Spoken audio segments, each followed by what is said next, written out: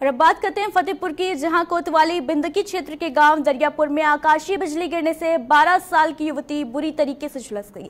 घटना के बाद परिजन उसे आनंद फानन में जिला अस्पताल में भर्ती कराया, जहाँ डॉक्टरों ने उसे मृत घोषित कर दिया। जानकारी के अनुसार दरियापुर गाँव निवासी स्वर्गीय संतोष की 12 साल की बेटी श्वेता देवी अपनी सहेली मोनिका सोनिका के साथ गाँव के बाहर शौच के लिए गई थी। इस दौरान ऊपर से आकाशीय बिजली गिर गई और बुरी तरीके से झुलस गई। वहीं डिप्टी एसपी कपिल देव मिश्रा ने बताया कि बिंदकी कोतवाली क्षेत्र के दरियापुर गाँव में एक 12 साल की युवती जंगल की तरफ़ गई थी और अचानक आकाशीय बिजली गिरने से युवती की मौत हो गई।